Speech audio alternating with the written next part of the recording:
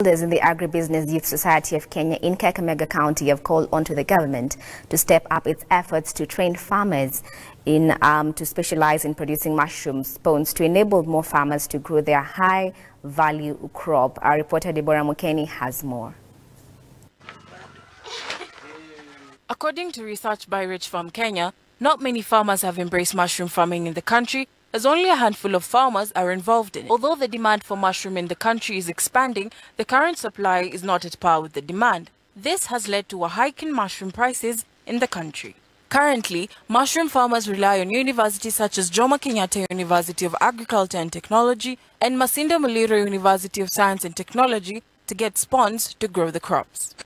According to Kisiangani, those who produce spawns for themselves are fewer and produce only for their own farming. Kisiangani, who is also a farmer, noted that he currently produces between 7 and 20 kilograms of mushrooms from his farm per month and sells them locally to customers between 400 and 600 shillings per kilogram. This is a process that takes about uh, 15 minutes. Mushrooms that I need to take to the market. After I've harvested, I split them. I mean, I pack them for those which are supposed to go fresh.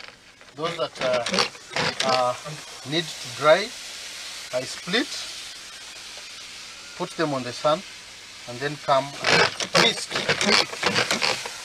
Besides the misting, we also do uh, watering of the floor. We, we pour water on the floor so that uh, as it evaporates, it causes the-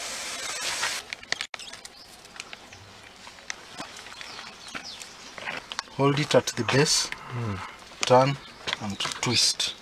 It comes out. In the pan it. 228 grams.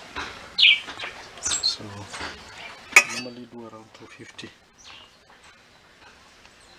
This For those intending to venture into mushroom production, Kisiangani said that the initial cost is low since it involves the use of locally available materials like maize stalk and maize stovers for those who come from a maize growing area. it would be a very good idea for the government to come in and, uh, and research institutions to come in and disseminate this technology of uh, spawn multiplication, particularly for farmer groups that are producing mushrooms. These will go a long way in reducing the costs of production. Deborah Mukeni, Look Up TV.